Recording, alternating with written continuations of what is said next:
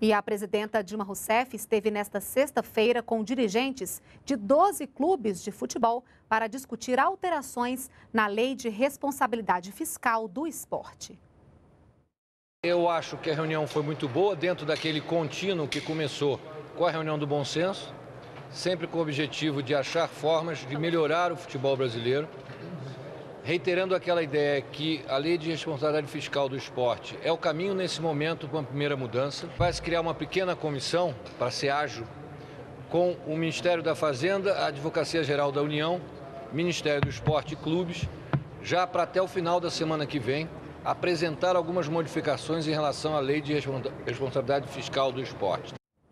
A ideia é que a nova lei seja encaminhada ao Congresso Nacional para ser votada até setembro.